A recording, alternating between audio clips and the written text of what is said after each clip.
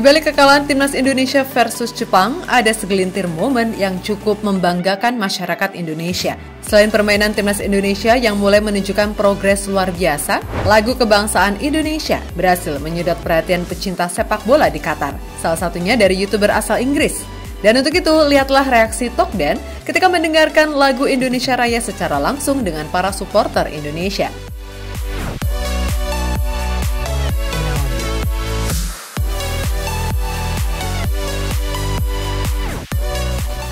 Timnas Indonesia harus mengakui keunggulan raksasa Asia Jepang dalam matchday ketiga Piala Asia 2024, di mana dalam laga yang berlangsung di Al Tumama Stadium, Doha, Qatar, Timnas Indonesia harus menyerah dengan skor 3-1. Dengan hasil ini, Timnas Indonesia berada di urutan ketiga klasemen grup D dengan 3 poin. Pasukan Sinteyong mencetak 3 gol dan kebobolan 6 gol. Pelatih Timnas Indonesia Sinteyong mengkritik kinerja wasit di laga ini. Menurut Sin, wasit Hamis Mohamed melakukan beberapa keputusan kontroversial. Pertama, selamat untuk Jepang. Mereka sangat kuat dan performanya bagus. Tetapi satu hal yang saya perhatikan adalah keputusan wasit yang beberapa kali salah. Ucap Sinteyong dalam konferensi pers usai pertandingan. Dalam laga ini, Sin juga menerima kartu kuning dari wasit usai melakukan protes keras. Secara total, wasit memberikan 6 kartu kuning di pertandingan kali ini.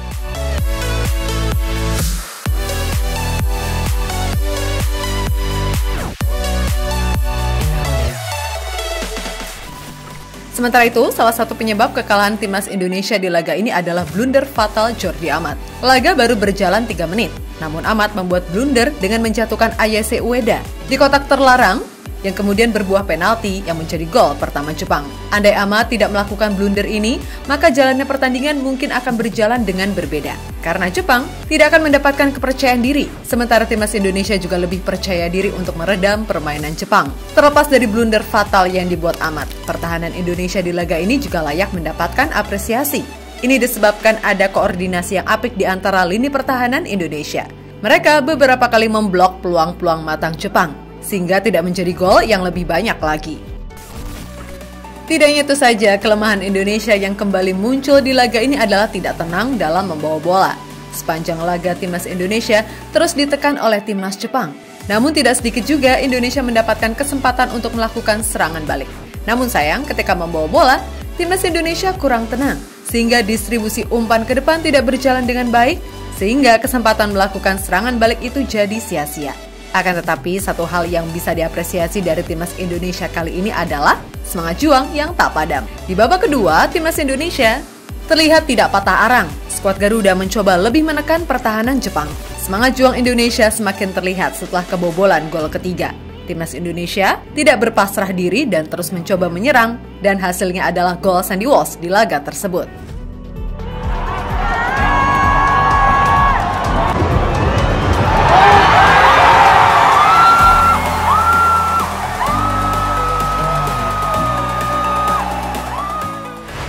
Sementara itu, semangat juang yang ditunjukkan timnas Indonesia pada laga melawan Jepang sendiri tak lepas dari dukungan supporter Indonesia yang datang langsung ke stadion. Mereka mendukung tanpa lelah dengan bernyanyi sepanjang pertandingan. Bahkan sekitar 5.000 penonton datang secara langsung ke stadion untuk memberikan dukungan penuh kepada skuad Garuda. Tidak hanya itu saja, kekompakan supporter Indonesia bahkan membuat haru youtuber asal Inggris, Tokden, terutama saat laga pembuka ketika lagu Indonesia Raya berkumandang. YouTuber asal Inggris yang berada di kerumunan supporter Indonesia tersebut tampak sangat merinding dengan kekompakan fans Indonesia dalam menyanyikan lagu kebangsaan Indonesia Raya.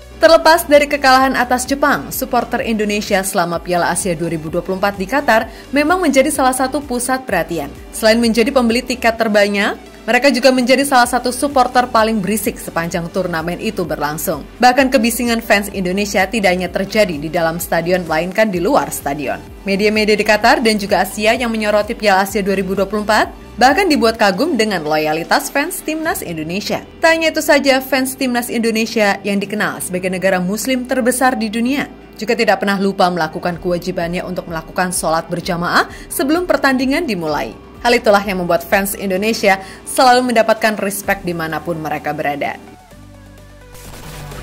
Dan jadi itulah reaksi YouTuber luar negeri saat mendengar lagu Indonesia Raya.